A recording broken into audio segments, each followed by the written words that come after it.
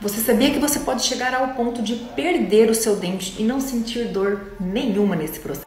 Então já me segue aqui, já corre lá na rede vizinha que o papo tá muito interessante sobre esse assunto. Para a cárie se desenvolver, ela precisa de vários fatores, como um alimento para ela, a própria bactéria, um tempo para que isso ocorra e uma má higienização. Esse aí estava fazendo estoque de alimento para bactéria. Quando a cárie não é removida no início, ela pode progredir a ponto de canal em até um ano.